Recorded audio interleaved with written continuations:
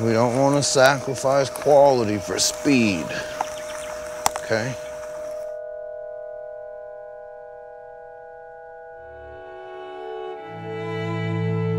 We're always been here, never came from anywhere. We're not going anywhere. We're here to stay. As we have lost our connection with the land and the people who fed us, we've lost our sense of community and, more importantly, our sense of place. Si mana minungai ni, mikir niyo kata mo.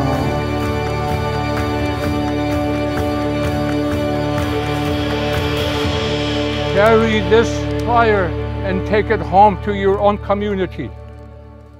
It didn't start now, it started thousands of years ago.